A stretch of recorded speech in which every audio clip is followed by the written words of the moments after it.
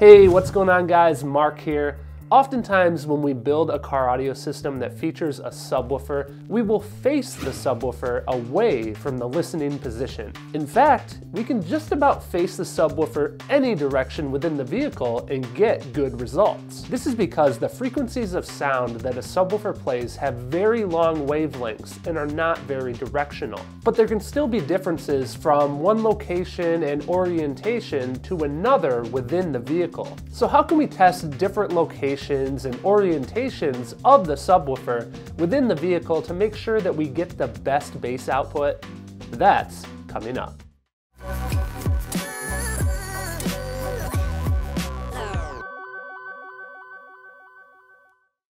Hey guys, welcome to Car Audio Fabrication, the show where together we learn how to master car audio and how to design, build, and install our dream car audio system. Here on this channel, I do reviews, I do project builds, and I do tutorial videos just like this one. So if you're new here, consider subscribing. Now in one of the previous videos, I've shown you guys how I built a test subwoofer box that I'm gonna be using in the Jeep build that I'm working on right now. The test subwoofer box is actually a sealed enclosure, and because of the way I built it, I can actually test all sorts of different orientations, including downfiring. Now, if you've been following along with the build, you know that I plan on actually installing the subwoofer in a downfiring type orientation right above the amplifiers. But I want to double check that this location is going to sound good. Because the box that I ultimately plan to install is going to have a lot of involved fabrication and custom work, I really want to test that location to make sure it's going to sound good before I go all out. So by using this simple test box, I'll be able to test that location and then I can actually use the test box in the future on other builds. So let's head on over to the shop and get to testing.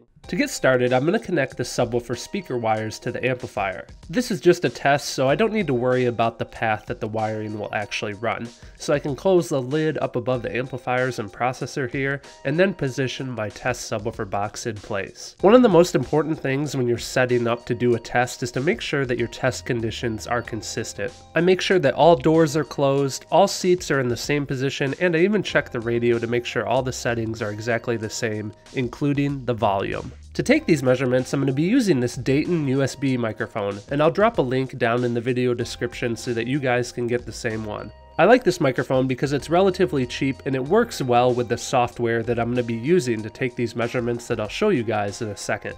Next, I take the microphone and place it at the approximate listening position. The last connection I need to make is using this 3.5mm male-to-male audio cable. I'll connect this to the output of my laptop and I'll connect the other end to the input of the radio. I recommend getting a nice long cable so that you can set up everything outside of the vehicle. The software I'll be using for this is called REW, which is short for Room Equalization Wizard. This software has a ton of functionality, but right now I'll just be using the measure function. Once I hit measure, I can tell the program what I want it to do. And basically I'm going to tell it to play a sine sweep from 20 Hz all the way up to 80 Hz, which are bass frequencies. When I'm ready, I'll hit start measuring and it's gonna run two different sweeps and then average the results from those two sweeps.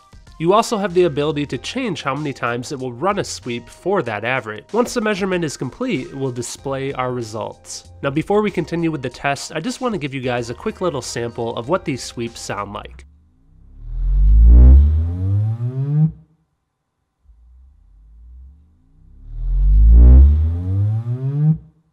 After the measurement is performed, I name that measurement so I can compare it against the other measurements later. With the first measurement complete, I go back to the back of the vehicle and flip the subwoofer facing forward this time. Over at the computer, I once again start a measurement, and this time, once the measurement's complete, you can see that the color is similar to my first measurement, so in this case, I'm going to actually change the color of the curve. I also once again rename the measurement, and all this stuff is really important to do because sometimes when I'm tuning using this program, it will be common for me to actually have upwards of 20 to 30 different graphs, so you really want to make sure you're keeping track of what's what.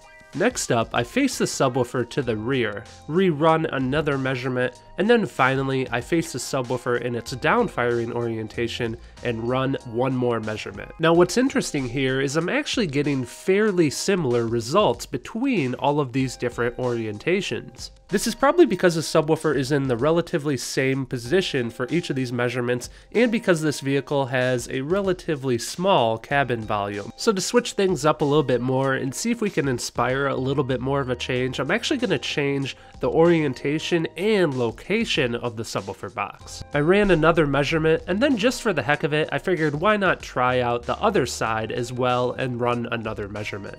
Let's take a look and compare all of the results. If I right click and select clear selections, I can clear out all of the graphs and then select two that I want to compare. I'm going to compare everything against the downfire position because I want to see if anything is better. So starting with the downfire versus the subwoofer facing up position, you can see that generally the downfiring position has slightly more output throughout this frequency range. When we compare the downfire against the firing forward orientation, this is also the same case, as well as when we compare downfiring against firing backwards. Here's where we start to obtain some interesting results, and that's when we compare the downfire against the side firing pointing to the right. In this comparison, you can see that the side firing actually has slightly more output in the lower frequencies, but once it gets above about 60 Hertz, it actually drops off faster than the downfiring. When we take a look at the data for the measurement of the subwoofer facing to the left, once again we have slightly more output over the downfiring enclosure, up to about 60 Hz, and then it stays the same. So although the side firing position actually had a little bit better performance,